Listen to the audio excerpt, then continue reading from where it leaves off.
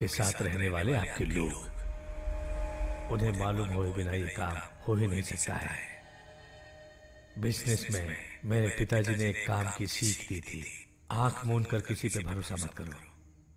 बड़े से बड़े कारोबारी का अंत उसके खास आदमी के गद्दारी के कारण नहीं होता है। दुआ करो। दुश्मनों से तो आप समझ सकते हो लेकिन दोस्तों के वार से भगवान ही आपको बचा सकता है।